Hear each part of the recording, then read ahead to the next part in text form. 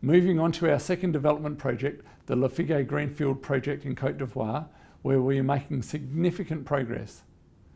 It is really exciting to see the project advancing now that more than 50% of the initial 448 million capex has been committed and the project is tracking on budget and on schedule for startup in Q3 next year. We are now using the airstrip, which has been approved for flights, which will really help the logistics as activity levels continue to increase.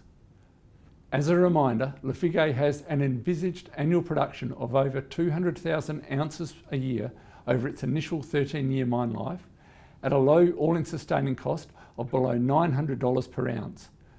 The build was only launched in Q4 last year following completion of a definitive feasibility study that confirmed Lafigué's potential to be a cornerstone asset for Endeavour.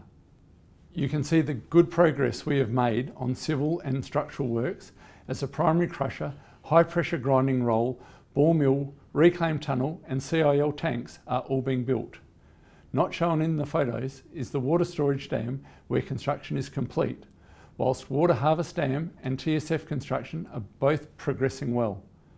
The mining contractor has commenced mobilising to site and is building the necessary infrastructure Construction of the 225 kilovolt power line continues to progress well.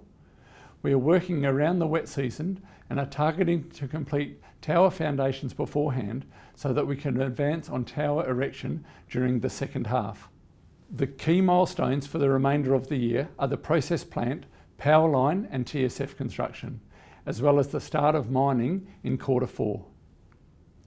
We are very pleased with the progress made at Lafigué and it is always very impressive to see a project advance from nearly nothing less than 12 months ago to a project that we expect to be producing from in less than 12 months' time.